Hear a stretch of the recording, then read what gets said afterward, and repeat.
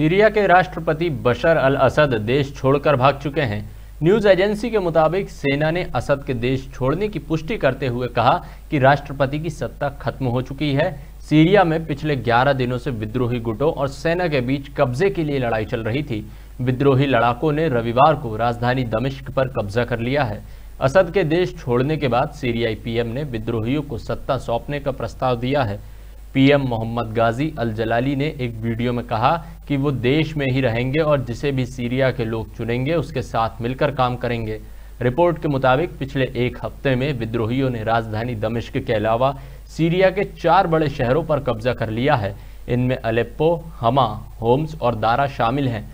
विद्रोही लड़ाके राजधानी दमिश्क में दारा शहर की तरफ़ से घुसे थे, जिस पर उन्होंने 6 दिसंबर को कब्जा किया था।